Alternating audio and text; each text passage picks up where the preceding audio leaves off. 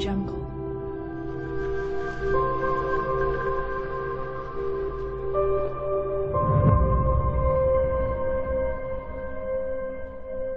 Audio Jungle. 对于最近中外媒体大肆报道的我国大规模海军训练和空军巡航，本是让大家非常兴奋的事情，但是总有些人说的话不那么好听。虽然说有差距是肯定的，但是过分的贬低那就是耍流氓了。前不久，美国导弹驱逐舰在未经允许的情况下擅自传入我南海岛礁，是可忍热孰不可忍。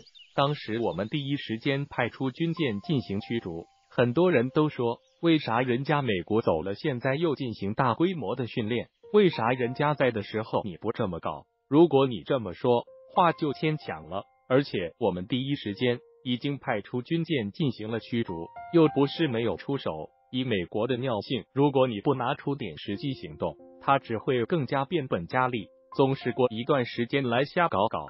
即便你美国海军再强，在中国周边，你觉得美国真敢动手吗？如果是过去，可能美国会毫无忌惮，但是今天的中国已经今非昔比。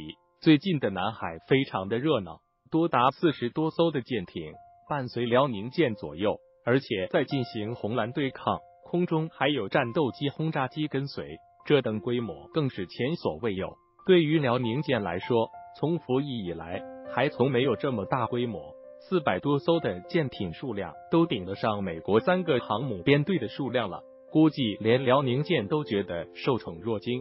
或许等零零二航母服役，这样的规模还会扩大。眼下看来，零零二航母在四月海试的可能性非常大。对于四十艘舰艇的规模，美国路透社第一时间进行了报道，而且直呼不可思议，显然让美国媒体始料不及。或许这也是对美国擅自入侵的最好回应。但是美国的军事专家的一个推特再次激起了我们的愤怒。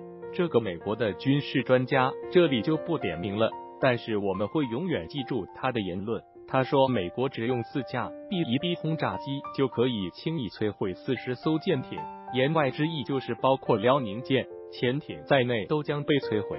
这话说的就有点大了。虽然说航母战斗群很容易被袭击，尤其是被美国这样的强国袭击，但是说的这么轻描淡写也太随意了吧？即便你美国的轰炸机再强，那也不能把我们当摆设啊！你所谓的 B 一 B 携带隐身反舰导弹可以轻易摧毁我们，我们就无动于衷给你打吗？你说用 B 二轰炸机，我还能信，搞个 B 一 B 就像无敌了一样，真是受够了美国的嘴脸。但是不得不说，我们还是要正视差距，有刺激并不是坏事，可以让我们更快的前进。当然了，十二架轰六 K 跨区域训练本来也是一件相当震撼的事。毕竟可以携带七十二枚长剑十巡航导弹，威慑力不言而喻。如果携带长剑二十的话，完全可以在两千多公里的防区外发动机攻击。但是人家美国国家利益不答应了，非要说十二架轰六 K 难堪大用，还顶不上美国的一架 B 二轰炸机。即便你们轰炸机再牛，这样说也挺讨人厌的。如此的高调，就不怕被打脸吗？但是我们必须认清事实，轰六 K 没有速度和隐身，暂时无法保证生存，还需轰二十早点出来，那时看你美国又会怎么点。